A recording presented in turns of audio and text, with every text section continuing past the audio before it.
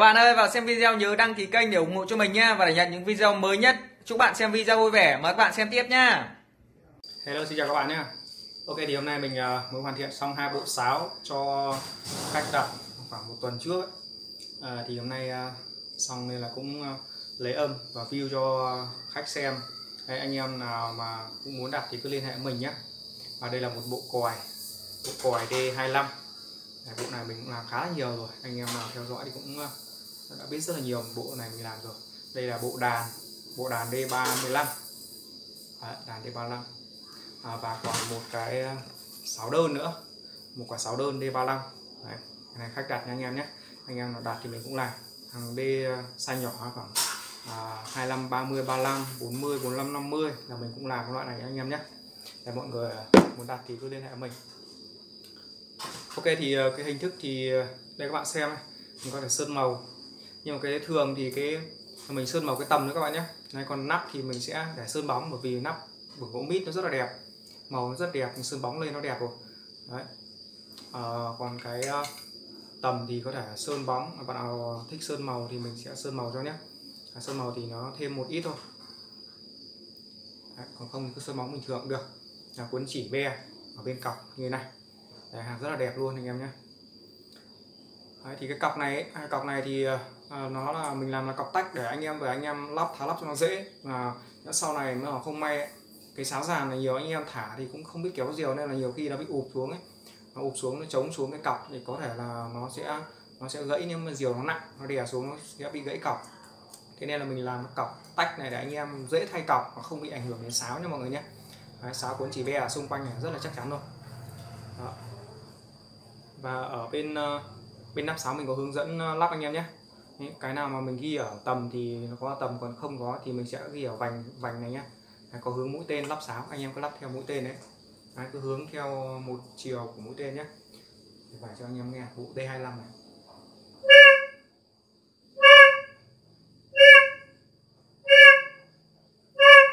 Cái này còi vắt D25 anh em nhé còn đây là bộ đàn của B anh em nhé nhỏ nó là B, còn nếu mà làm to khoảng D50 55 trở lên, thì nó âm bò nó rõ hơn nhé.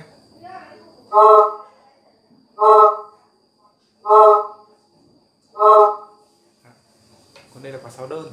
Sáu đơn này thì vậy thì nó chỉ có một tiếng thôi, nhưng mà khi khi đi, khi thả lên diều thì nó sẽ tách tiếng ở phần sau anh em nào muốn nghe âm mình sẽ để âm ở phần sau nhé, anh em nhé. Âm ở đằng sau rất hay. Cái sáo này là chủ yếu anh em mong giang chơi nhiều. À, nó là sáu đơn anh em nhé. Đổ tiếng nó gọi chó đấy anh em. À, đu đu đu đu đu đu. Anh em nào chưa biết thì nghe ở phần sau mọi người sẽ biết âm thanh của nó như thế nào nhé. Một quả như kêu rất là chất lượng đấy. Ok à, phần sau này thì mình sẽ để âm thanh nhé mọi người nhé. Âm thanh thì âm thanh thì mình chạy, chạy xe.